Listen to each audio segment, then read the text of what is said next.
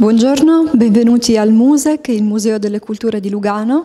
Oggi siamo in mostra all'esposizione Fosco Marini, l'immagine dell'impresente, una grossa mostra che abbiamo al Museo che sarà aperta fino al 19 di febbraio, è una delle più grandi retrospettive dedicate alla fotografia di Fosco Maraini. Fosco Maraini molti lo conoscono già, eh, molti eh, lo conoscono magari solo parzialmente perché si tratta di una persona, una personalità estremamente complessa, viaggiatore, esploratore, scrittore, alpinista, eh, professore di giapponese all'Università di Firenze. Ci sono molti aspetti della sua personalità e sono tutti qui in mostra.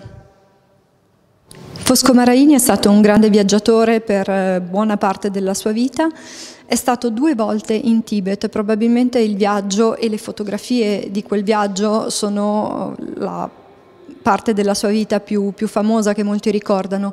La prima volta andò in Tibet nel 1937, la seconda nel 1948 e tutte e due le volte era al seguito di Giuseppe Tucci, che era ai tempi il più grande tibetologo al mondo.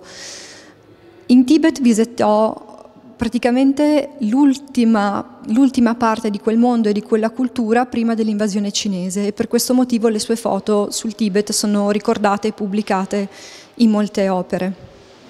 Tra il 1952 e il 1953 Maraini viaggiò in lungo e in largo per l'Italia meridionale, nelle varie regioni, al seguito di un progetto eh, strutturato con eh, il suo amico De Donato, un editore di Bari, e l'idea era quella di creare una pubblicazione con un testo scritto da Carlo Levi sui problemi dell'Italia del Sud. Purtroppo il progetto non andò mai in porto e questo libro non fu mai pubblicato, ma rimangono le fotografie stupende di Fosco Maraini di quel periodo.